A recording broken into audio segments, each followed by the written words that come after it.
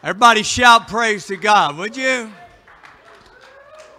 Okay, let me do an English lesson. Everybody means everybody, all right? Everybody shout praise to God this morning. Amen. Praise the Lord. Man. Maybe some of you had too many burritos this morning, huh? I'm glad to see you. Children's Church is heading out, and we're heading in. We're going to lean into a message today. I want to say real quickly, I want to say a word of thanks and appreciation to 14 guys that ran around Alabama this weekend at the men's conference, Gridiron Men's Conference. If you're here and you went with me, say whoop. That's pretty good. Hey, to get that out of a bunch of guys, that's pretty good, isn't it? Okay, here's what we're going to do for, the, for just a couple of seconds. Maybe you all don't know, but 14 of your people, including three boys, went to the Gridiron Men's Conference in Alabama, and for the last two days, we've been worshiping Jesus. And I want to tell you, we're on fire for the Lord today. Amen? Amen? So, yeah, you can clap for that. Uh, you guys, anybody out there like football? Uh, put your hands up. Go ahead and admit it. You like football? Uh, you like baseball? Anybody like baseball? Uh, what do you do when your team hits a home run? What do you do? I mean, what do you do? Is that it? Really? Can you imagine 40,000 people in a stadium and two people go, whoo? Okay, let's try it again. 14 of your people spent the last 48 hours getting close to God. Amen? Yeah. Yeah. All right, so here's what I did last night. If anybody wants to, you can. I'm just going to give 90 second testimony. 90 second testimony. If anybody that went with me last night, you want to come up, just just tell the church what God did in your heart. 90 seconds. If you want to do that, go. That means you come up here and grab a mic. And if nobody shows up, I'll testify for you. All right.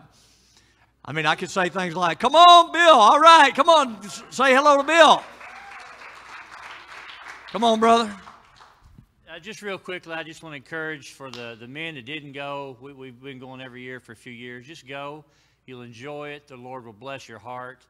Uh, you know, you go, just like coming here today, you come with an open heart. That's the Lord will have words for you. He will touch your heart. Amen. Thank you, brother. Amen. They call him Chulo. I don't know, man. Come on, Manny. Talk to us. Well, um, I was just so happy to be able to go. I went over there and I'll tell you guys, I experienced healing in my soul like never before. Those men were able to speak into my life, and I was I was just being set free and right in the spot. And I want to encourage you: if you get a chance next year to go, please go, please go because God will meet you there. Amen. Thank you, buddy. Everybody say, "Hey, Joe." One of the best one of the best parts was just the brotherhood of being with the guys as we went down there. We go to church together, but we really don't spend a lot of time together. We got to know each other really well, and God opened all of our hearts up. It was a great trip. Amen, buddy. Amen. And Joe bought my coffee, man. It was great. Anybody else? Anybody else want to come? Go. Say, hey, Dustin. Uh, the first, the first thing that was that was really cool that kind of touched me was uh, I'm a I'm a planner. I, I, like to have a plan, and we went down there with no plan, like no tickets, a plan. And uh, somebody had a brilliant idea that we'd stand out and ask for tickets. So we got fourteen hundred dollars worth of tickets for three hundred bucks. So that's faith in God. I mean, that's pretty cool. But the the conference was called uh, Level, and what it was was about balancing your life as a man between your job, being a dad, and all those things. And I got to experience that uh, with one boy, one of each of my boys on either side of me just worshiping the Lord, hands in the air, tears flowing at times. I mean, it was just, it was an incredible experience. Uh, the lineup next year is, is, is every bit as good, if not better than this year. Uh, don't miss it next year. If you don't think you can go, don't let that be, don't let that stand in your way. I mean, it, this was incredible. It was a great, great time. Thank you, buddy. All right. Amen. By the way, next year, uh, Lee Strobel will be there. Amen. Charlie Daniels will be there speaking next year. There you go. So, um, y'all just need to come on. We're, we, had, we had a great time. Anybody else? All right. I want to publicly say thank you to David who went. David and I have been to Promise Keepers many times before. Hadn't done it in the last couple years. Did this year. He drove. He drove his big mini bus thing that he's got. This huge thing. Got me back to church in time to preach last night. Thank you, buddy. Amen. And everybody in his truck, we had a great time. We just kind of just snoozed. That thing there is just like you know, it's like you're flying or something. Uh, literally. Y'all got that, didn't you? We want to say thank you for Manny and Stella for making breakfast for us today. Thank you. Good. Um, are there any left? Okay, so now uh, some of you guys that's trying to watch your your pennies, you know, just grab a burrito on the way out. And if you don't want to have to take your dad out for lunch, there you go. Just grab some. Amen. Today, I want to preach to you on this Father's Day. There's, I've got a lot in my head because I want to tell you, I came back different from this men's conference. I came back refreshed and revived. Our series has been called Made New. I feel like I've been made new this weekend. I'm hearing things from God that I hadn't heard in a while. I know what I want to talk about and I know what I want to do, all right? Uh, I don't want same old, same old in a church. I don't want to just live the same old religious activity. I don't care nothing about that. I want to group together with some people that are passionate for God and let's serve God together. That's what I want to do. Now, think about what we sang today. My hope is built on nothing less than Jesus' blood and righteousness. How many of you can say that? Now, now before we get really excited about saying yes, my hope is built on nothing less than Jesus' blood and righteousness. You know what that means? My hope can't be in anything else out here. And see, too many people who come in on the weekend and say, My hope is built on nothing else. By the time you walk out the door, your hope's built on everything else, and that's why you're hopeless. We're going to sing in a minute. We're going to sing, It is Well with My Soul. Anybody know that song? How many of you can actually sing, It is Well with My Soul today? Now, do you know what your soul is? It's your intellect, your will, and your emotions. It is well with my soul. It is well with my soul means that when everything is messed up in my life, I'm still okay. But I want to profess to you that that's not most people's testimony. Most people's testimony is when God's close and, and they're serving God and everything's going their way, oh man, I'm all about this. But you let one problem come in and all of a sudden it is not well with my soul. And the reason why it's not well with your soul is because your hope is built on something else than Jesus' blood and righteousness. We want to get right. We want revival. I want to get close to God. And problems really, and we learned this all weekend, didn't we, gridiron guys? And gridiron guys, you ought to be the loudest ones today, right? You're going to help me preach today, right? Because what we learned this weekend is Problems don't mean things are bad in your life. Problems are things that God allows in your life so that you can grow. And how are you going to grow if all you ever do is fixate on the problem? Oh man, man, my life is so bad because look at this. I got this problem and this. I know some people they are professional at having problems. And they spend their whole life fixated on problems. You have to fixate on the Savior. Fix your eyes on Him who has already conquered everything that you're going through. Man, we're just going to kill each other the way we're doing. And we're killing our soul. And our kids are suffering. I want to preach to you today on the cure for troubled kids. How many of you believe we got troubled kids? We got bad problems in the country right now. If you aren't aware, let me tell you, the teenagers that are coming up today are coming up way different than I did. In my generation, wasn't it, Jerry? It was a mess. But, Jerry, the things that are common in our kids' life now, you and I, we would like, how can that be? It is so far gone. And what's happening in the church too many times is we are the people that look at what's wrong and instead of being instruments of healing and help, we're instruments of condemnation and judging. And we look down at these and say, oh, doggone kids, they need to get their act together. You know why kids don't have their act together? Because their parents don't have their act together. People come to me a lot of times, I want you to counsel my kid. I'm like, no, I need to counsel you. Amen, Brother Brian, just preach. You know what I'm saying? Because kids can only do what they see and what you give them. Now, granted, you know, they've got a sin nature too. But it's time today, Father's Day 2017, that we decide that we're going to be responsible people in the sight of God. And we're going to say, you know what? We're going to make a difference and we're going to do this right. And I want to tell you, and I'm going to talk to the dads. Hey, ladies, is it okay if I talk to the dads?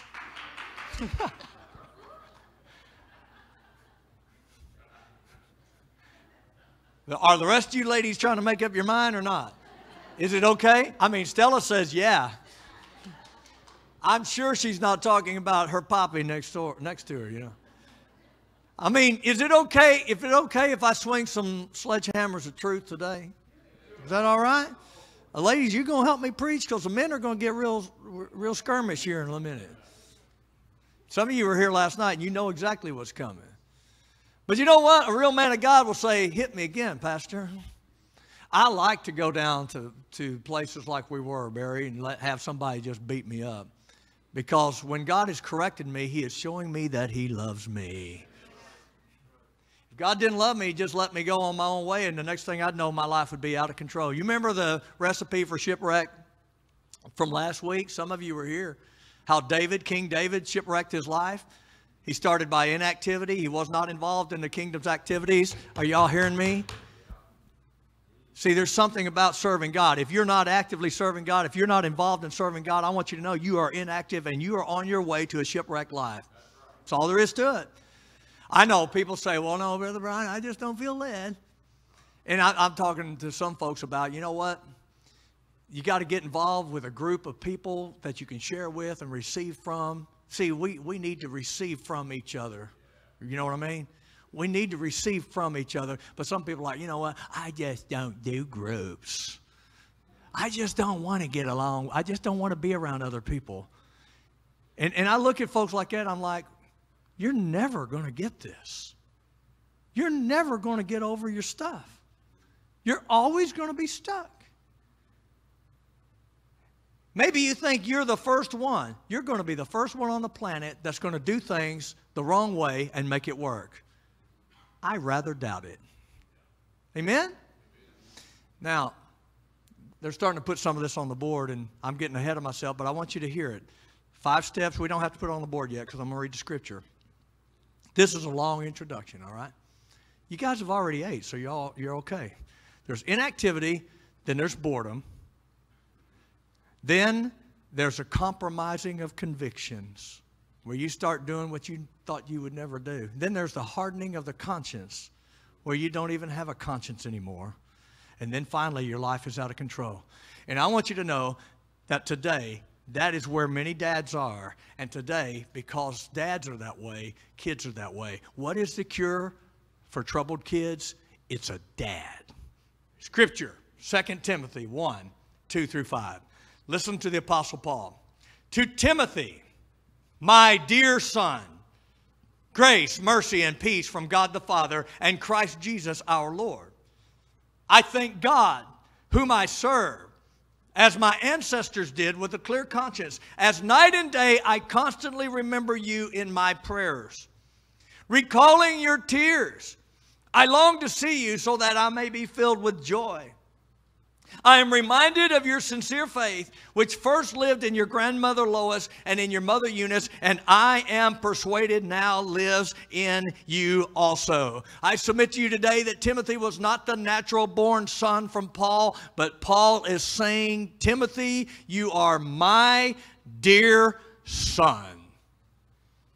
And Paul is a made, do, made new dad and he's speaking to a made new son, and he's giving all of us here today a recipe and a cure for the trouble that's in our life. Let's go through the outline together, all right? Point number one, let's see the recipe for shipwreck fatherhood. It's the same as anything else. When King David wrecked his life, it started with inactivity. If you're going to be a shipwrecked father, the first thing that will happen is inactivity. You will not be involved in your kid's life. Too many kids have dads that are just simply people that are just kind of there. They're the ones that say that think I am the one that is called to provide. I go out and work every day, and when I get home, it is now me time, ladies and gentlemen. That is a recipe for disaster. Too many dads are totally inactive in their kids' life. They think they'll take their kids and sling their kids into the world and hope their kids can figure it out. And then when the kids can't figure it out, the father does nothing more than criticize. Did you know that the ministry of criticism is not one of the spiritual gifts? Anyone can find fault, but it takes a man to get in and be willing to humble himself to be a part of the solution for what's wrong in your kid's life. Inactive fathers are those that are concerned only for themselves. After inactivity becomes there, there comes boredom. You see, in the shipwrecked dad's life, the desire for his life is disconnected from his family. I see this way too often. Too many dads are looking for life outside of the structure of what God has given you. I had a mentor that helped me with this some 20 years ago, and he taught me. And at the time I lived in Tennessee, he said, Brian, if you win everybody in Henry County, Tennessee, and you lose your family, you have lost and you have missed the first responsibility that God has given you. And too many men, because they are inactive in their kids' life, they're inactive in the life of their spouse, they get bored with life and they start looking for life outside of the structure that God has given them. King David was bored. He was out on his roof because he was just hanging out doing nothing. He was inactive. And dads today, I want you to know that the cure for boredom is not another sports thing. It's not another trip to the outdoors. It's not all of these things, and hobbies are not a bad thing. But, ladies and gentlemen, we live in a world where men have put everything in the world ahead of their families. And if you seek for life disconnected from the life that comes from Jesus, you'll never find that life. And these dads have a desire for life disconnected from their family. And the next step is they start compromising their convictions. In other words, they start living differently at home than they do everywhere else. You know what's tragic in the church today? There are many people that came into the church today to say, Yes, my hope is built on nothing less than Jesus' blood and righteousness and they sing about Christ alone, the cornerstone, and they sing praises to God and they give praise to God. And by the time they get back home, a different dad has shown up. And what you're doing is you're compromising your convictions. Ladies and gentlemen, and dads, let me say this to you today. If you're not worshiping God at home, it's not real anywhere else. What you are at home is who you are. What you are in the quiet place and the secret place is who you are. And too many dads are compromising convictions. I got a chance to hear David Jeremiah this weekend. Man, what a privilege to hear this guy that's 76 years old and still preaching. And he just hardly ever lifted his head from the table, but he had every one of us under conviction. Just nailed it.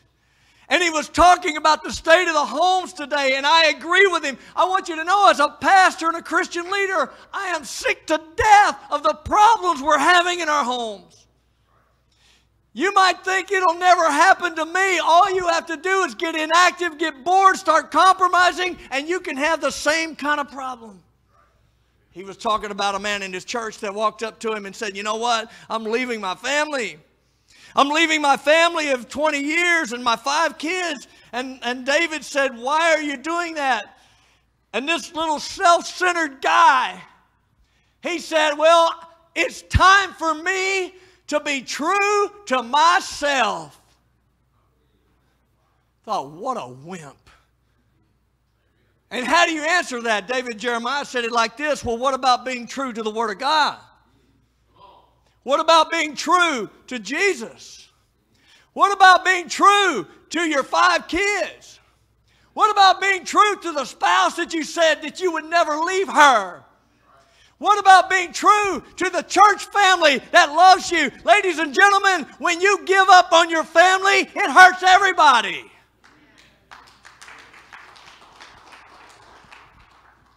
One of these days, I'm going to preach about the anatomy of, of, of, cheating and how it works. And, and because there's inactivity and boredom at home, then people start looking for life outside of the family structure. And then I guarantee you, if you start looking for something outside the family structure, there is someone named the devil who will provide that person for you. And then it starts to feel good. And then you start going, well, you know, it's just not good at home anymore, and someone's giving me attention. And the next thing you know, you're compromising your conviction. And the fourth step is that you harden your conscience. I don't think there's anything wrong with this anymore. Your actions are spiraling down. You start doing things that you never thought you would have ever done. And finally, your life is out of control. The family's in chaos. The world's in chaos. Your friends are in chaos. Everything's in chaos. Ladies and gentlemen, that sounds just like the devil. And then we take that type of parenting and it comes down to our kids. And we basically say, Do what I say, not what I do. Let me give you a couple of pictures of some modern dads today. There's first the dad that is indifferent, the dad that just doesn't care, the dad that just kind of rolls with it because this dad is totally self absorbed and his wife and his kids are just there. Maybe you had a dad like that. You see, the reason why you might be like that, sir, is because probably your father was like that to you. Amen? There's another picture. There's a dad that's impossible to please. Maybe you had that type of situation. One of the speakers this weekend told a story about when he was a boy. I'll just say this to you, men. I'll just say this to you, men. Every man in here, they might not admit it publicly, but every man in this room can remember the hurts that they received as a boy and in particular if it came from your dad. One of the speakers, I think it was the same speaker, was talking about prison ministry and how that he was involved in prison ministry. And when, when you're involved in prison ministry, you find out something startling. Most every man in prison, a good majority of them, hate their father. I wonder how that happened. I mean, think about the day that child was born and fast forward 25 years later, and the child that was born that you held into your hand and thank God for one day would have nothing but disgust for you. And most people say, It'll never happen to me. My answer is always the same. In that case, you'll be the first, and I really doubt it. This one man was talking about what happened to him as a child. He was a little boy and he was on the baseball team. He wasn't a good baseball player. When I played baseball, I could pitch, but I couldn't hit. I couldn't hit I couldn't hit the broadside of anything. I just couldn't do it. But I loved to pitch. But I did get on base a few times. Well, this guy, he never got on base. He was the kid I mean, he was there to be there with his friends. He enjoyed it. He wasn't like, you know, he didn't feel slighted. He was a guy they, they he said they put him in the outfield because they, the, you know he, he just wasn't very good. And when he when he batted, every time he went to the plate, he prayed for a walk because he knew he couldn't hit the ball. Well, he said one time the pitcher threw the ball and he swung the bat, and guess what? He hit it. So he really didn't know what to do. And he said he hit it so far it got into the outfield. And, and so he starts running. And he runs to first base, but he'd never been to second base, so he really didn't know what to do. And so they had to tell him, run, run, run, go to second. So he went to second, and he got to second, didn't know what to do. And they kept yelling, run, run, run, go to third. And he got to third. By the time he got to third, the coach stopped him because the other team had got the ball back in the infield. And he was like, got me a triple. His dad was in the stands. And you would think that a dad would say, out of way, bud, that way to hit the ball. Triple, man, that's good. No, his dad didn't say that. His dad said, if you hadn't stumbled around second and first, you'd have got a home run. And some of you had a dad like that, was impossible to please. And some of you are fathers just like that. Some of you are angry. There's a lot of angry dads in the world. And you know the problem with being an angry dad is that you're the only one that doesn't know that you're angry. Everyone else in your life knows it. If everyone else is tiptoeing around you, you know why? It's because there's an elephant in the room. And if there's an elephant in the room, you don't want to wake him up. If you've got courage today, men, if you've got courage, go home and ask your family.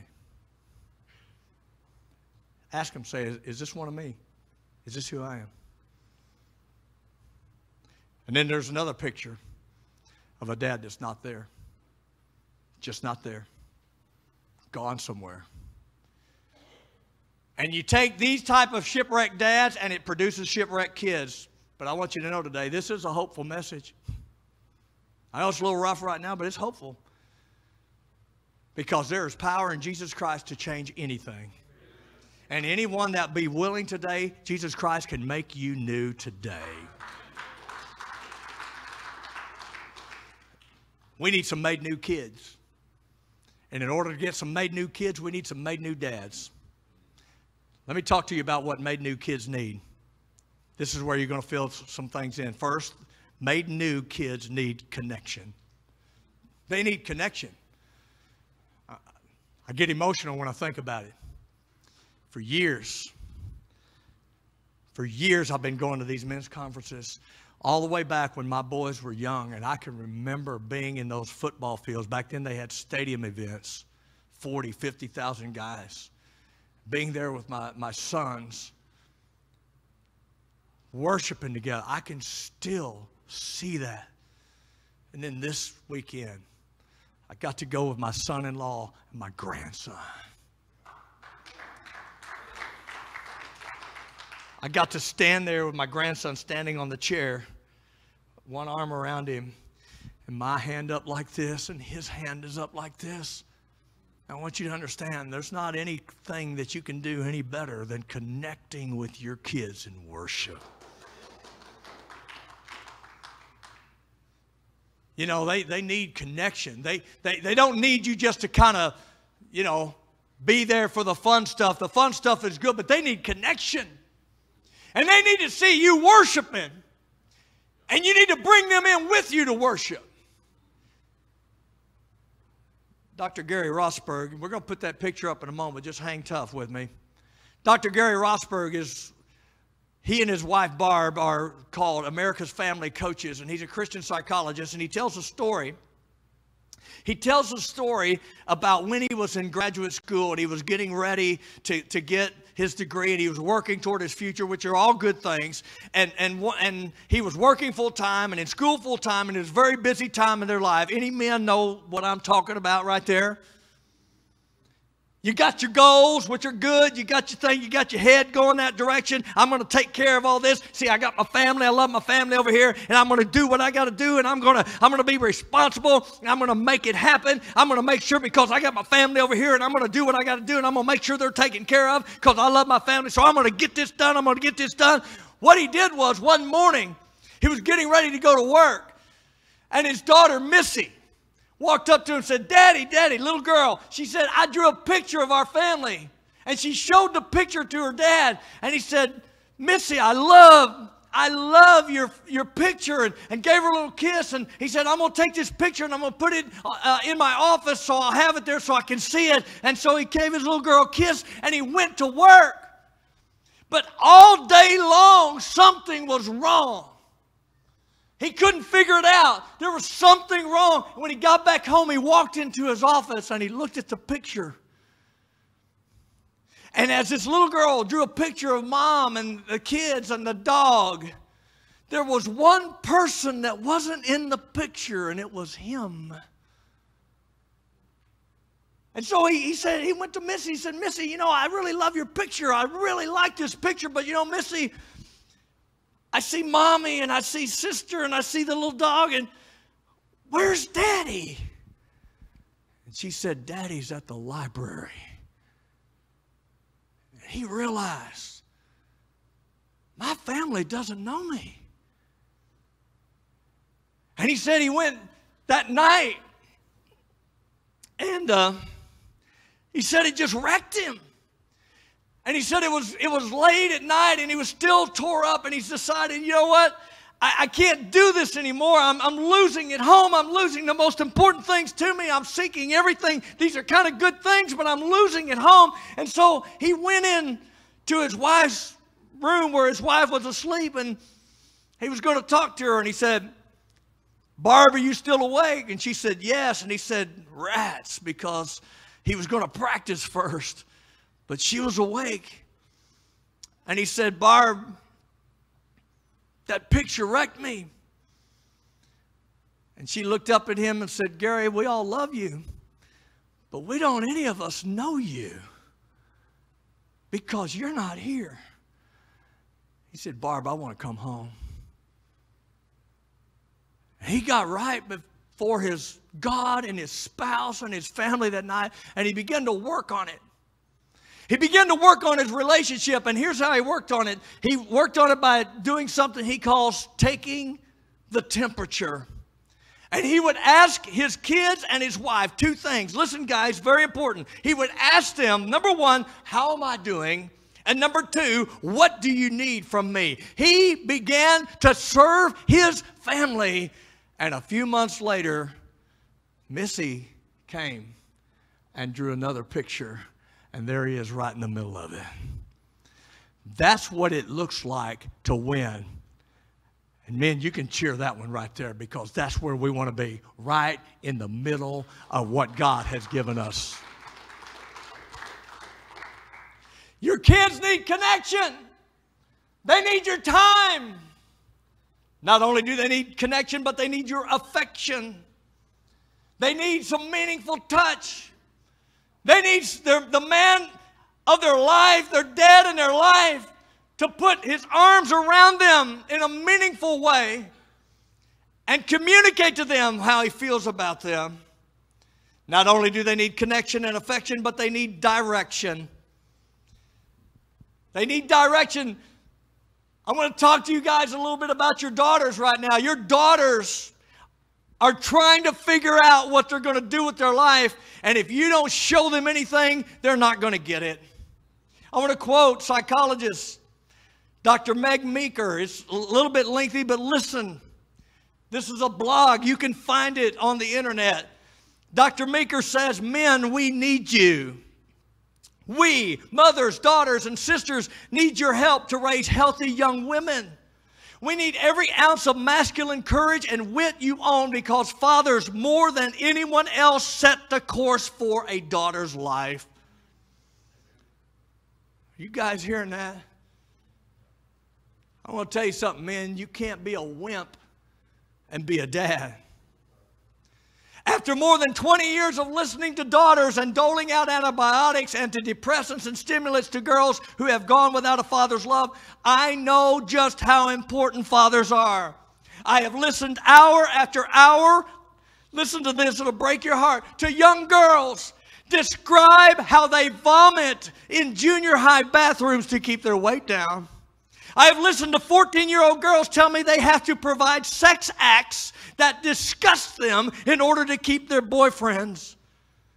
I've watched girls drop off varsity tennis teams, flunk out of school, carve initials, and tattoo cult figures into their bodies, all to see if their dads will notice. Fathers, more than anyone else, set the course for a daughter's life. Many fathers, particularly of teen girls, assume that they have little influence over their daughters in the light of their daughters' peers and pop culture. And they think their daughters need to figure out life on their own. But your daughter, sir, faces a world markedly different from the one you grew up with. It is less friendly, morally unmoored, and even outright dangerous. Listen to this, struck me so hard. After age six, little girl clothes are hard to find. Many outfits are cut to make her look like a seductive 13 or 14 year old girl trying to attract older boys. The research shows that girls disconnected from their, from their fathers go through puberty sooner and start sexual activity much sooner. She will see sexual innuendo and scenes of overt sexual behavior in magazines or on television before she is 10 years old, whether you approve or not. Fathers are what stands between their daughters and a toxic world. Men, when our daughters are walking around through life with body parts hanging out, she is telling the world that she needs connection and she needs it from you. Young lady, if that's the way that you dress in that provocative way, understand something that's never going to provide for you what you're looking for. And if your dad's not willing to provide that connection, the only thing I can tell you to do today, and this solves everything, is go to the love of your Heavenly Father. He will never cause you to compromise truth in order to receive affection. He just simply knows your name and He loves you unconditionally.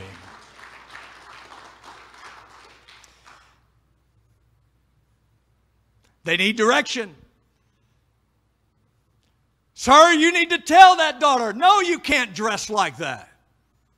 We live in a day right now where dads are afraid that somebody will say something negative about them if they try to parent their kids. If you don't parent your daughter, who's going to? Many of us know, we know, well, what's happening is not right and where they're going is not right. They go all hours of the night, they go unchaperoned in places. Men, do you not understand that the world that we live in now is so sexualized your daughters have the ability to do things right under your nose and you have no idea about it. We take things like this and we hand it to children at a young age and we just disconnect from them. We have no idea what they're doing. Listen, every godly dad ought to be able to say, Give me your phone.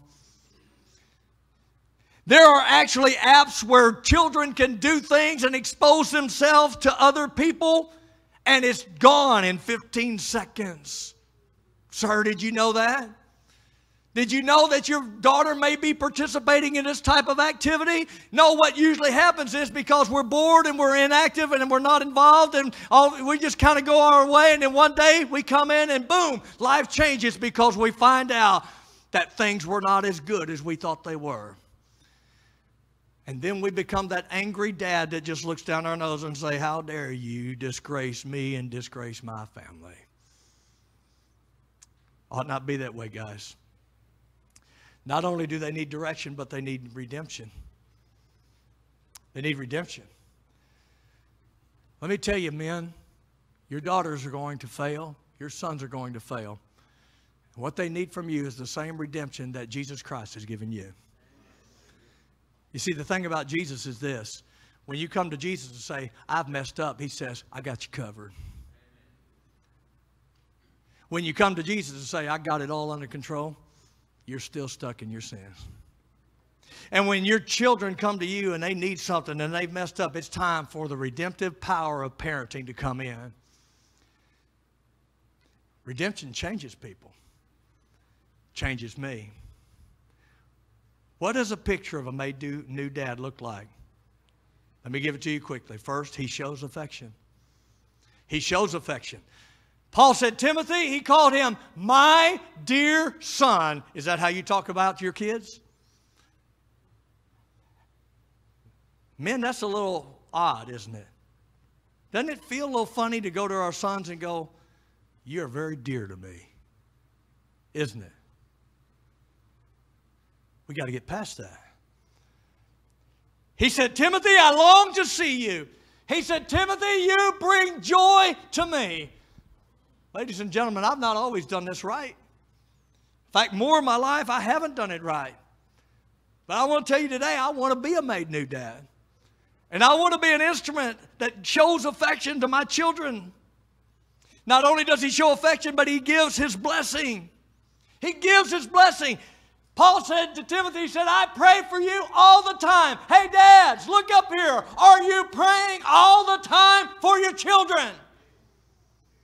Too many dads are like, well, I'm kind of busy. You see what your problem is? Busy can kill you and can kill your family. Paul said grace, mercy, and peace to his son. What would your kids do if you just walked up to them, put your hands on them, and said, I pray God's grace over you today? That's what your kids need. He shows affection, he gives his blessing, he sets a good example. Paul said, Timothy, the God whom I, whom I serve, as my ancestors did, with a clear conscience. You know, we talked about the conscience being hardened. Paul's like, my conscience is clear. And you know what your kids will know? You know what your kids will know? When your conscience is clear and you're serving God, they're going to like, yeah, there's something to this God thing. Do you want your kids to catch it? You see, leadership is more caught than taught. You can teach all day long, but if you don't live it, they're not going to catch it. And all they're going to learn is dysfunction from you. Paul's conscience is clear. He is serving God. A side note about this is simply this serving and clear conscience are definitely connected. They're definitely connected. If you are not serving God, you don't have a clear conscience.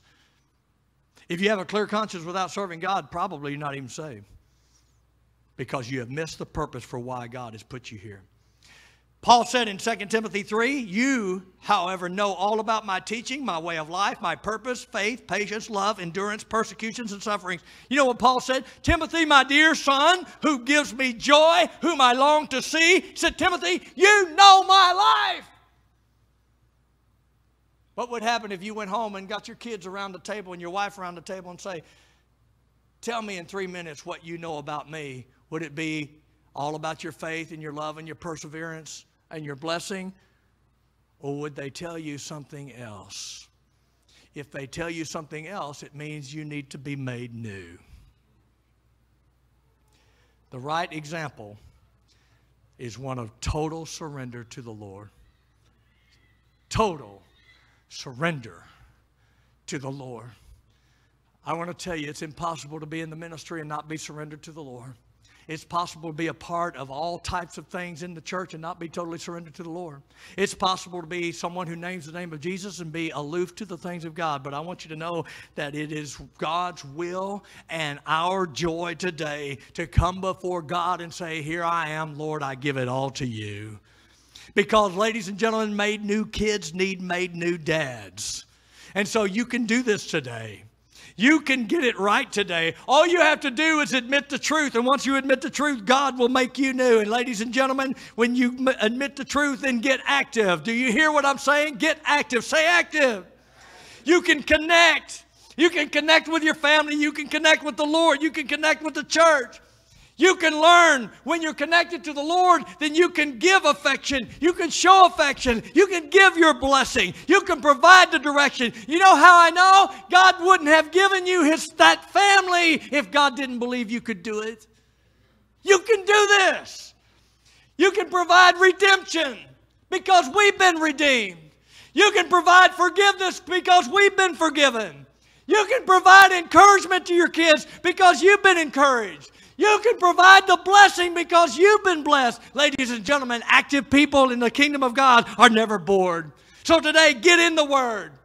Teach the kids the Word. Live out the Word. Walk in freedom alongside the Lord. Overcome the enemy. Experience the Lord's grace and, and peace. And, ladies and gentlemen, your life will be in order. And you will experience the presence of Almighty God. And the problems will not stop you anymore. And your children will understand what it means to serve God Almighty. And they will get it. And you will live with made new kids today. Now, what happens when you hit a home run? What happens when you hit a home run? That news is good news today. Let's praise Him today for what He's done for us.